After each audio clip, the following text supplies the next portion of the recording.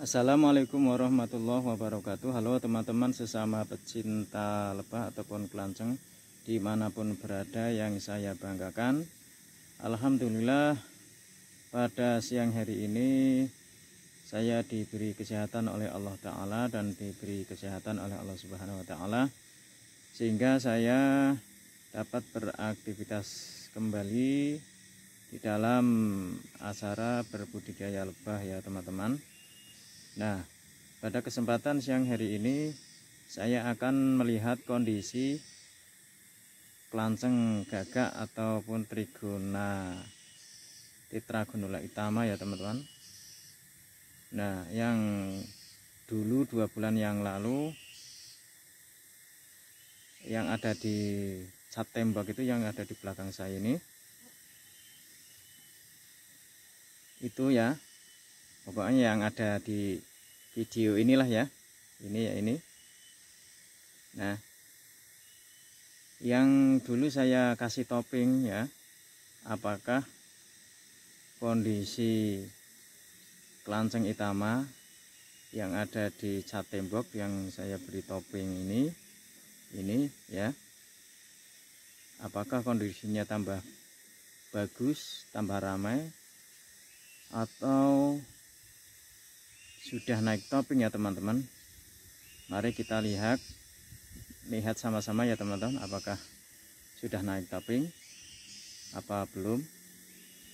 Mari kita simak sama-sama. Nah ini teman-teman kondisinya koloni yang ada di kaleng cat tembok ya teman-teman.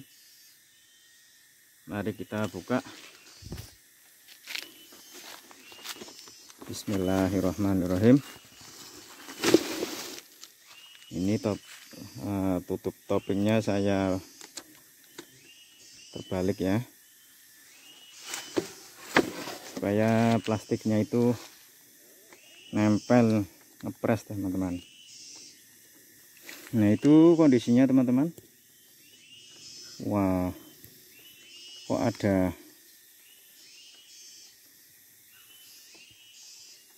ada jenis levisep ya. Waduh. Kok diserang levisep ya teman-teman? Tuh saya buka ya. Bismillahirrahmanirrahim. Tuh. Banyak levisepnya lewat mana levisepnya ya hmm.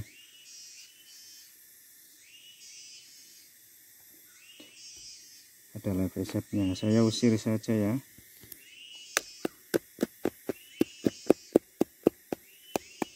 Ini ada live resepnya teman-teman. Mau mencoba menguasai ini. Hmm.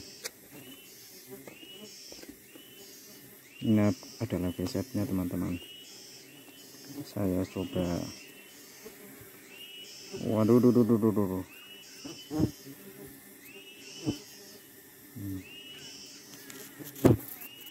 nanti saya kasih saya usir dulu yang lapisetnya setelah itu saya kasih ini teman-teman. Ya ya. Ini. Sudah biasa saya siapkan ketika ngecek koloni itama ya teman-teman yang masih baru. Ini adalah propolis bekas perasan lavisep yang akan saya donorkan ke sini ya.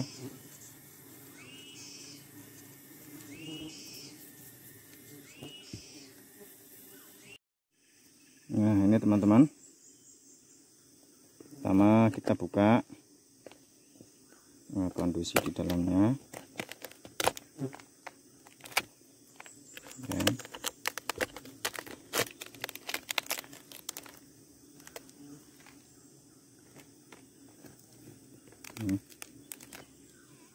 Bismillah.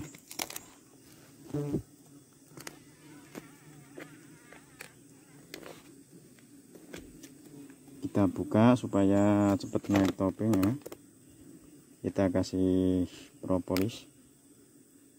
Ya. Ini sudah saya siapkan propolisnya.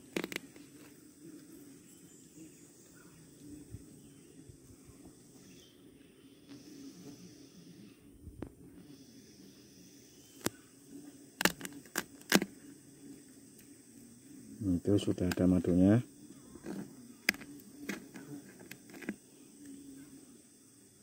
itu sebagian ada madunya ya teman-teman. Itu kelihatan itu. Sudah banyak madunya tapi tidak saya ambil ya. Karena ini masih baru belum naik topping. Nanti sabar ya. Menunggu koloni ini naik topping nah barulah saya akan mencoba menanam. Oke? Alhamdulillah. Semoga berjaya. Amin. Nah ini kondisi koloni yang kedua. Koloni kelanceng utama ya teman-teman. Yang baru saya dapatkan ya.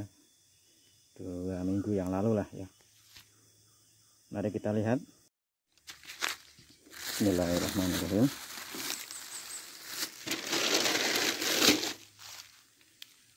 Ini juga eh, masih proses ya teman-teman.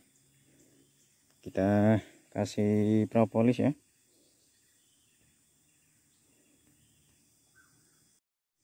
Nah ini teman-teman, ini sudah saya letakkan 6 butir propolis bekas perasaan lavisap ya teman-teman. Ini 6 butir. Nah, ini belum saya buka ya. Mari kita buka. Bismillah. Nah terus. Ini adalah cara untuk uh, supaya koloni kelanceng itama kita lekas atau cepat naik topping ya teman-teman caranya begini teman-teman. Kalau tutup buka tutup buka begitu teman-teman caranya. Dan diberi propolis ya. Ini caranya. Itu sudah ada bipolen ya teman-teman. Tapi belum ada madunya itu ya kita kita tutup gini ya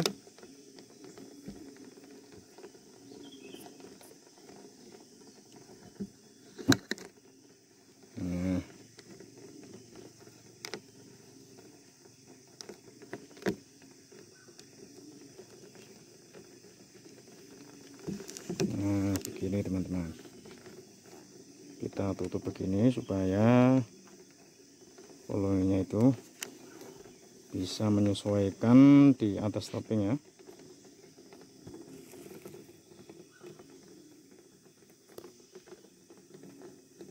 Ini mengumpul di sini.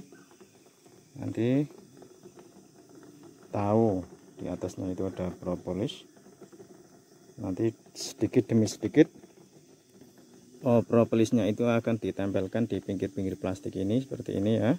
Dan di pojok-pojok dan di sela-sela yang lubang-lubang kecil itu dikasih propolis oleh mereka supaya rapat sampai penuh dengan propolis toppingnya ini. Nah, kalau belum penuh propolisnya ini di atas topping ini mereka belum mau naik topping ya teman-teman. Menunggu setelah topping ini penuh dengan propolis nah barulah mereka akan petah dan langsung membangun kantong-kantong madu di atas uh, topping ini teman-teman. Oke mantap teman-teman. Selamat mencoba. Nah begitulah kondisinya teman-teman dua bulan yang lalu yang ada di apa namanya kaleng cat tembok ya Alhamdulillah sudah mulai naik topping tapi tetap kita pantau teman-teman ya. Karena hmm, koloni yang baru itu biasanya sering tutup ya sering tutup lubang ke topping ya. Kita tetap pantau setiap minggu sekali kalau ditutup kita buka. Kalau ditutup lagi kita buka lagi ya. Terus kita beri propolis bekas perasan lavisep ya. Oke. Selamat mencoba teman-teman. Semoga berhasil. Assalamualaikum warahmatullahi wabarakatuh. Salam Trigona